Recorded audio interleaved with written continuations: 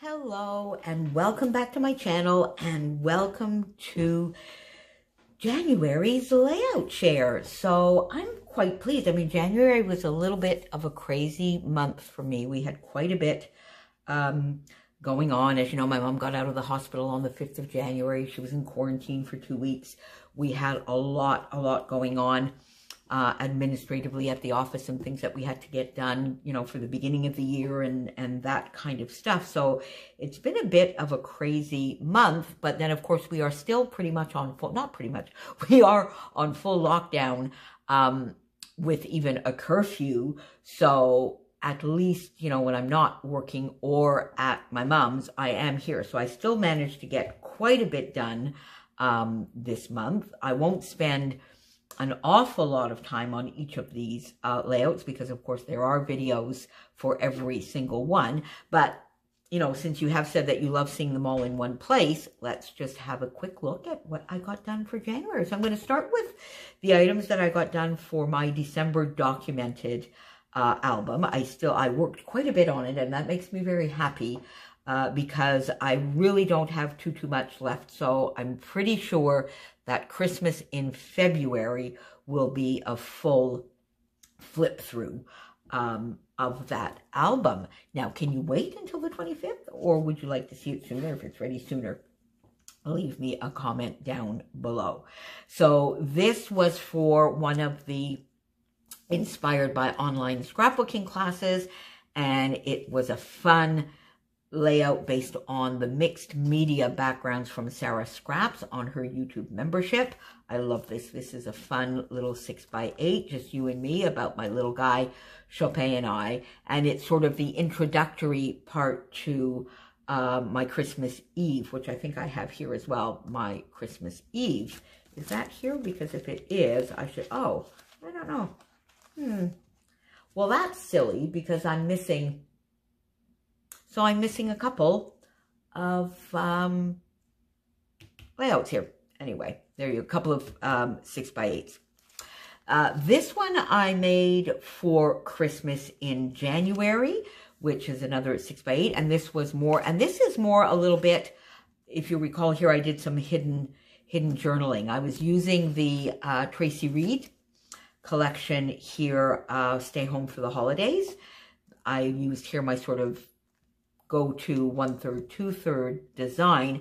And this is the journaling and the adventure, for want of a better word, of mom being in the hospital for three weeks over the Christmas uh, holidays. And here, if you recall, I put some vellum on top, and these lovely snowflakes are on the outside. These are from Redefine Creative.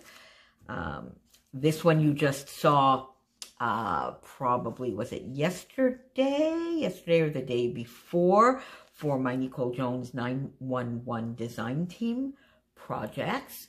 So this one, and there is a 4x6 missing here too. I don't know, I thought I was all prepared. Hmm.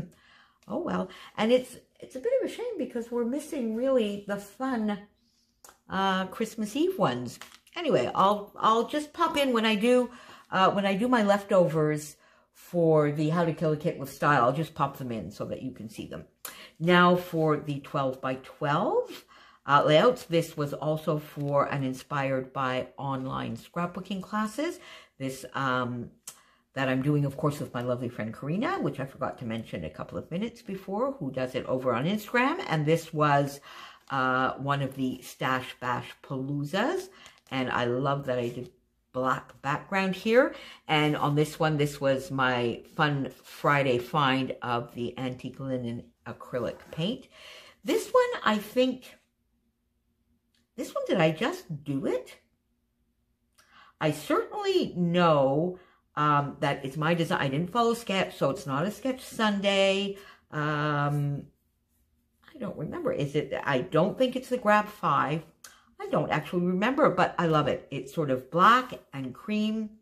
Oh, it's Baby Got Scraps. There you go. It's that page kit Baby Got Scraps that I put together uh, using all of the Gingham Farm and other little black and cream items. And then because I use this fun photo, I put these pops of red and did these two little clusters with some of the Nicole Jones Digi prints. I love, this might be, this might be my favorite layout this month because of the photo, of course, as well. Um, then this one uh, was a Sketch Sunday. And as you know, this year for our Sketch Sundays, we are doing 30 Days of Sketches Revisited, of course, but we are also branching out a little bit to some of our friends um, who are doing some sketches. And this was a sketch that Sarah Scraps uh, did and published, and we thought that we would use it. And I love it. It's got some mixed media here and some mixed media on the background, which is pattern paper, and then even on the layer here. So I kind of love that. This was the first layout that I did for Shannon's uh, from She's Crafty, her mini paper pad class. And the first mini paper pad that I had chosen was the Hustle and Heart. And I got so carried away having fun making this one that I forgot to use the sketch. There was a sketch with this, which is not this. so there. I love this one with the journaling around the sides. This is going into my Italy album. This is also for my Italy album, and this is also for the mini paper pad class. And the second layout that I did with um, the Hustle and Heart, and this time I did follow the sketch, and we used it for a sketch Sunday. This one was the first dedicated project that I did for uh, Nicole Jones 911 um, Designs, my DT uh, project, the first one of January, but I combined it with um, Uninspired by Online Scrapbooking classes in which I used Nicole's Scrapathon 6 about have it. So doing a design that divides the page in two. And there are so many different ways of doing that. I went with a fun diagonal. This is also going into my Italy and this is using my How to Kill a Kit with Style. This is also using my How to Kill a Kit with Style, and this was for Stretch the Sketch.